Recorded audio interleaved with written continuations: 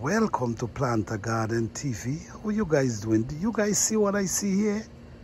You guys see what I'm seeing here? How you guys doing today? All right, guys, this is a pigeon peas plant.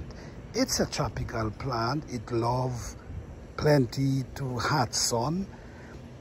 If you want to grow this plant in a place where they have cold temperature, you will definitely got to start it indoors.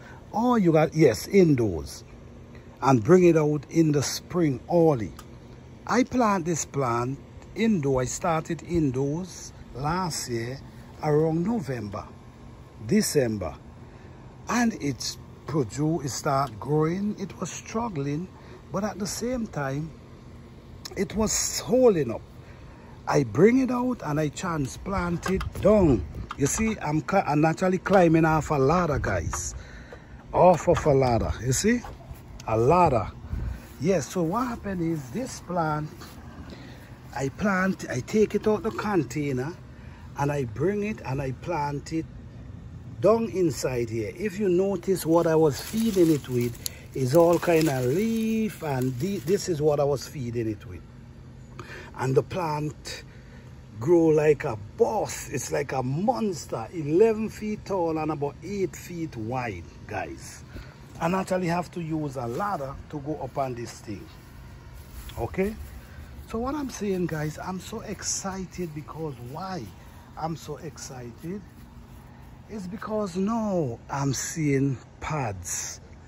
I'm seeing pads. So now pretty soon I will be seeing flowers. So sometimes we got to have faith.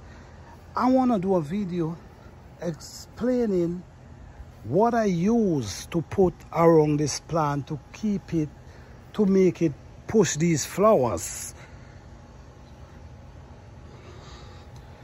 James Entertainment introduced me to a, some flowers that I should use and I use some extra flowers for myself I know I'm seeing this thing blooming so I'm trying to figure out if it's the flowers make it bloom or it was just uh, it was just time because this thing was here for almost 10 months.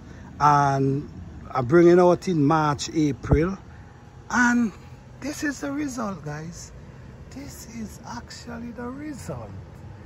Yeah.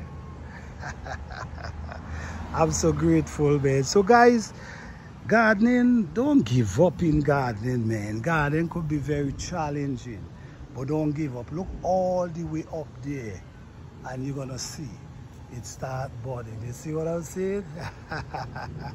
I'm grateful. So this is what my biggest surprise in 2023 in garden season. Thank you guys for watching please like subscribe and share please